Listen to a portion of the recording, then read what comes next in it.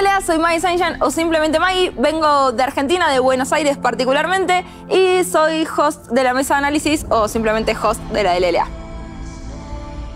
Desde el 2013 soy creadora de contenido, más que nada para League of Legends en reglas generales, en especial de lo que es cosplay, streams y bueno, todo lo que tenga que ver con el LOL en general. Y estas tres cosas se convirtieron en mi motor más grande en la vida, en una época muy oscura de mi vida, donde estaba con una depresión muy grande por cosas que habían pasado y no me quería levantar de la cama, pero la grieta siempre estaba para darme un abracito.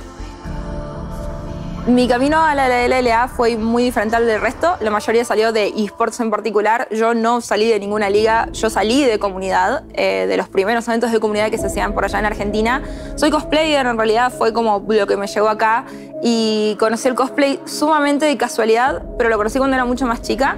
Eh, mi mamá me dijo, no, esto está muy raro, vos no lo vas a hacer. Hasta que fui mayor de edad dije, bueno, ahora sí puedo, lo decidí y un día caí en un evento con un cosplay de anime, porque bueno, también me gusta mucho el anime pero nada, la realidad es que el cosplay te permite ser, interpretar y básicamente ser como un artista integral, ¿no? En cada una de las disciplinas, sea desde el maquillaje, sea desde, no sé, cómo hacer un vestuario, poder pintar cosas con goma eva, también incluso actuación, porque bueno, también hay performance y ese tipo de cosas.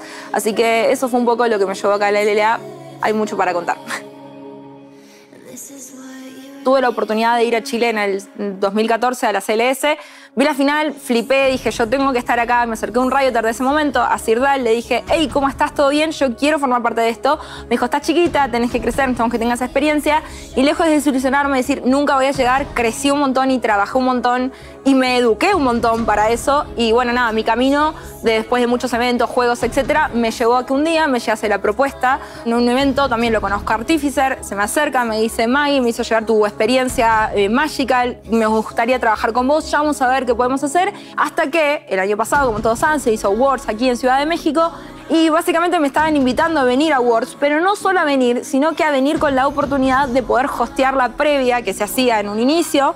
En ese momento yo obviamente flipé, no podía creer que iba a venir por primera vez a México, aparte para el Worlds, o sea, una locura, evento histórico. Vengo para acá y bueno, yo a mí me tocó hostear con Neko justamente.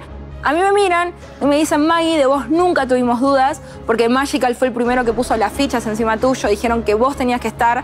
Así que nada, yo creo que todos los días le agradezco al cielo porque estoy acá gracias a él eh, y la realidad es que creo que voy a estar eternamente agradecida a Magical de la oportunidad que me dio.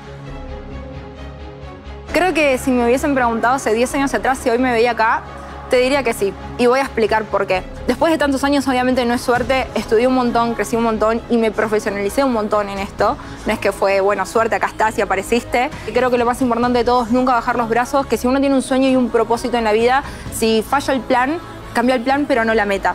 Yo pasé por un montón de cosas, un montón de gente me dijo que no para un montón de cosas y lejos de, ah, no, bueno, ya está, voy a hacer otra cosa, fue como, no, acá esto es lo que yo quiero, acá es donde yo quiero estar y luché contra todo pronóstico porque también, nada, mi familia no era la persona que más apoyaba en esto, son todos abogados, jueces, etcétera.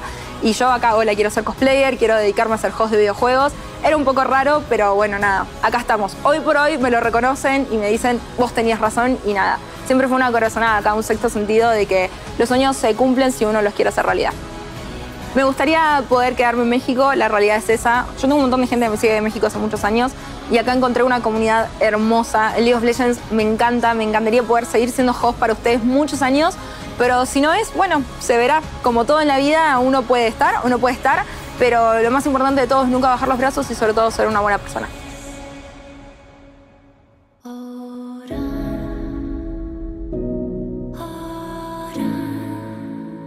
you.